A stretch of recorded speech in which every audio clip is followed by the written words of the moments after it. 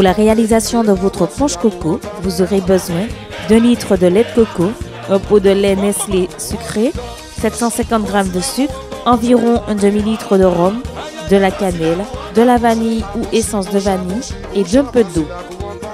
Dans une marmite, versez le litre de lait de coco, rajoutez les 750 g de sucre, le lait sucré Nestlé, l'eau que vous aurez au préalable mesuré l'essence de vanille et la cannelle.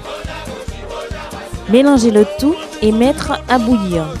Arrivé à ébullition, éteignez le feu et laissez refroidir. Une fois refroidi, rajoutez le rhum à votre convenance et procédez à la mise en bouteille.